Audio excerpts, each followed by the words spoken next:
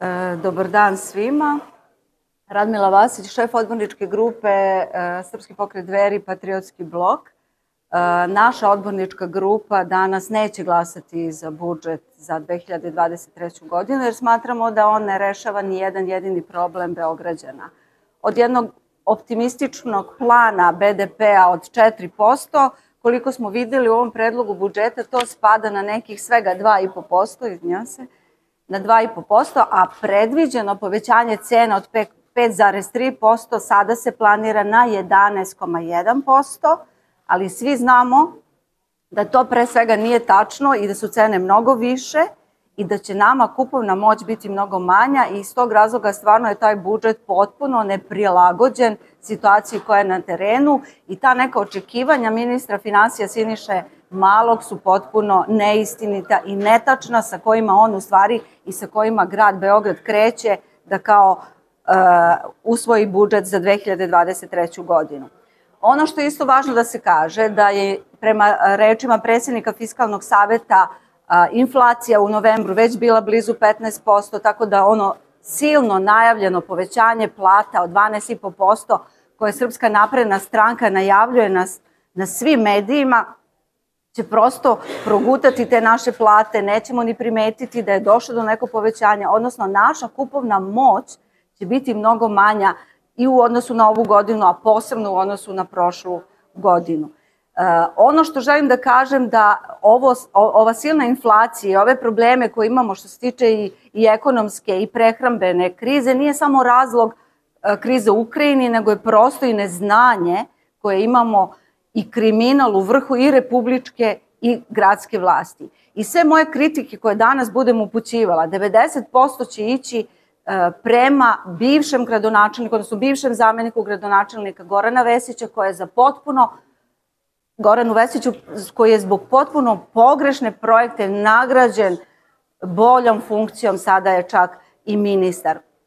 Sam je priznao prošle godine kada se usvajao budžet za 2022. godinu da je grad Beograd zadužio sa 281 milion evra, zato u ovom budžetu imamo da je samo otplata glavnice 7,4 milijarde evra, što je svakako preveliko i naravno to će vraćati građani i u narednom periodu. Mi ćemo danas kritikovati sve pogrešne Vesićeve projekte od pogrešnog metroa, I opet još jedna neverovatna situacija da Srpska napredna stranka obmanjuje sobstvene građane pričom da će rešiti saobraćeni kolaps koji imamo u Beogradu time što će izgraditi metro, to uopšte nije tačno, to je sramota kako oni lažu sobstvene građane, jer tamo gde oni rade metro, tamo nema ljudi. Znači, onaj saobraćeni kolaps koji imamo mi, on će biti mnogo veći nego, nego što će biti za deseta godina, čak i ako budu izgradili taj metro gde su ga planirali, a svakako smo rekli da je potpuno pogrešan.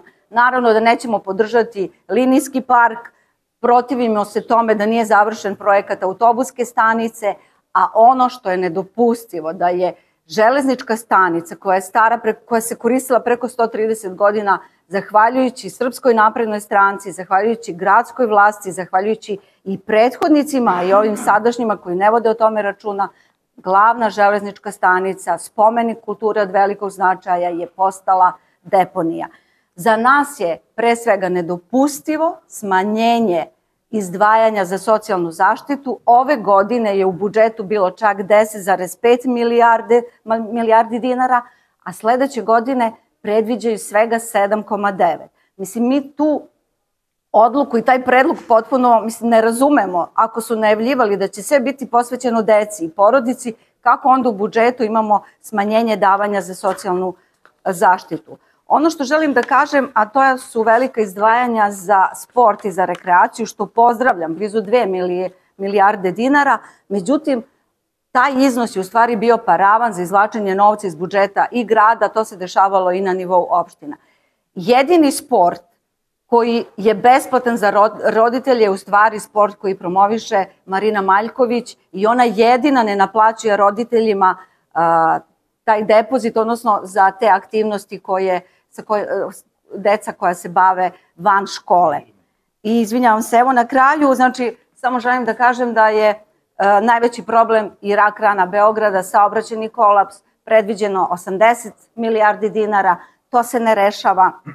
I ono što je najgor, najgore, privatnici su toliko zauzeli da oni kontrolišu grad, a ne grad njih. Hvala o tim svim nekim detaljima govorit ću na samoj sednici uh, Skupštine. Evo, uh, par reči će reći i doktor Borislav Antonijević. Dragi predstavnici medija, pomaže Bog. Vi koji ste ostali ovde da nas saslušate, samo govori o tome da još uvek ima onih koji se bave medijima, a koji hoće da bude realno izveštavanje. Za razliku koji su požurili da odu do skupštinske sale, iako skupštinske još nije počela. Ono što bi trebalo da vam kažemo, ovaj, ja sam Borislav Antonijević iz Udruženja građana, lekari, roditelji za nauku i etiku, a u okviru koalicije Patriotski blok Dveri i Fox. Nisam stranački kandidat bio i nikada neću biti ni u jednoj stranci. Ja sam deo ovog naroda i sad ću vam reći nešto kao deo ovog naroda što je predloženo za rešenje. Ako mislimo da ova zemlja krene napred i ako mislimo da krene dalje, zemlju mora da vode ljudi koji su stručni. Znači, na sledećim izborima, na izbornim listama, da se transparentno nađu imena ljudi koji će biti uključeni u strukture vlasti i uslov da se ti ljudi nađu na tim listama je da budu minimum 10 godina zaposleni u svojoj struci sa diplomama pravih fakulteta, a ne ovih u kojima sada plivamo. Druga stvar, ako nećemo da nam se dešavaju stvari kao što nam se dešavaju sa EPS-om, da smo sa mesta najuspešnijeg preduzeća pre šest godina sada došli na mesto gubitaša gde dugujemo milijarde, moramo da postavimo stručne ljude, a ne ljude koji se bave čak nekim sporednim zanimanjima koji nemaju veze sa strukom.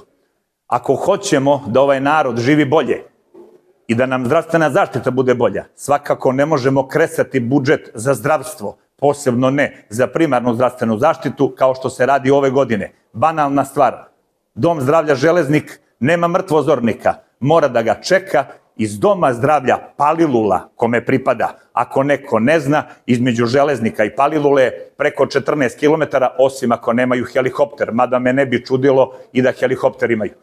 Ako hoćemo da ovaj narod pokaže, odnosno da narod vidi, da o njemu mislimo, ne smemo da dozvolimo da građani Novog Beograda odjednom dobijaju uvećane račune za vodu četiri puta. Do juče su trošili 4 kubika vode mesečno, a sada im stiže na naplatu 18. Ako hoćemo da pokažemo da mislimo o ljudima koji su branili ovu zemlju, našim ratnim veteranima, ne možemo dozvoliti da za njih ne postoji besplatna lokacija u kojoj mogu da se okupljaju, nego ćemo da ih steramo i da ih selimo sa jedne lokacije na drugu lokaciju. Znači, ova država mora konačno da pokaže brigu o svojim građanima da bismo ih ubedili da smo stvarno od strane njih izabrani opravdano i da ćemo opravdati njihovo poverenje. Hvala vam.